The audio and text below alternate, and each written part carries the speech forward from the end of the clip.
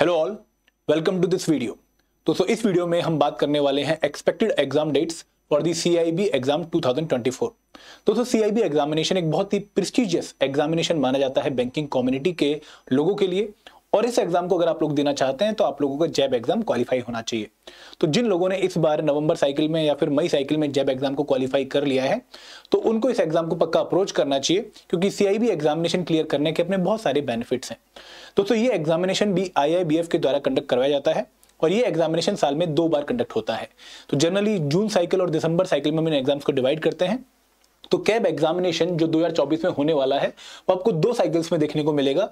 एक साइकिल होगी जून, जुलाई वाली साइकिल क्योंकि जनरली ये एग्जामिनेशन कई बार दो मंथ में भी जाता है कि लास्ट वीक ऑफ़ जून में स्टार्ट हुआ और फिर फ़र्स्ट वीक ऑफ़ जुलाई में कवर हो गया।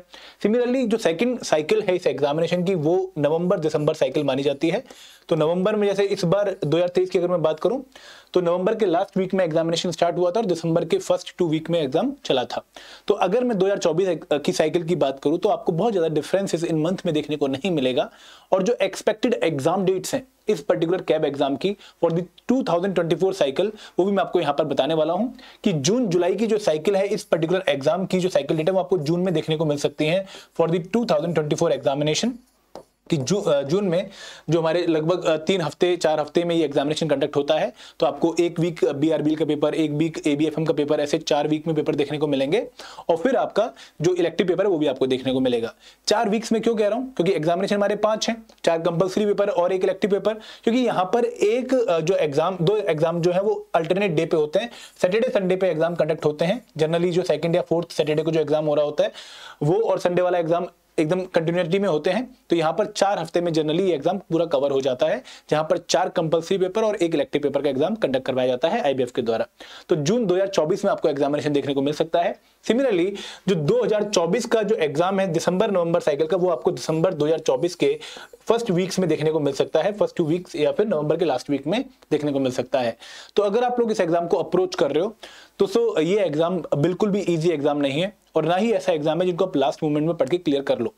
कैब एग्जामिनेशन को क्लियर करने के लिए आपको कहीं ना कहीं क्वालिटी नॉलेज होनी चाहिए प्रैक्टिस की होनी चाहिए और रिविजन भी होनी चाहिए, क्योंकि ये एग्जामिनेशन थोड़ा टफ एग्जामिनेशन है। प्लस दोस्तों, थोड़ा पैटर्न में भी बदलाव है। अब एग्जामिनेशन में कुछ क्वेश्चन ऐसे हैं जो कि क्वेश्चंस विदाउट ऑप्शंस हैं। मतलब जहाँ पर आप लोगों को ऑप्शन देखने को नहीं मिलेंगे। आपको एक न्यूमेरिकल दिया होगा, आपको उसको सॉल्व करना होगा और सॉल्व करने के बाद जो सॉल्यूशन आएगा वो आपको टाइप करके एंटर करना पड़ेगा। तो वहाँ पर अगर आपको नॉलेज नहीं है तो आप ना तो तुक्का मार सकते हो क्योंकि आपके पास ऑप्शन नहीं है तो फिर आपको क्वेश्चन छोड़ना ही पड़ेगा।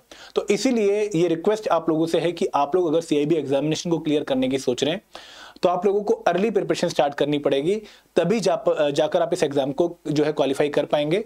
और क्योंकि आप लोगों के पास एक आइडिया है कि भाई जून 2024 में एग्ज़ाम होगा और दिसंबर 2024 में एग्ज़ाम होगा तो अगर आप अभी से स्टार्ट करते हैं तो आप अच्छी प्लानिंग के साथ इस एग्ज़ाम को अप्रोच कर सकते हैं।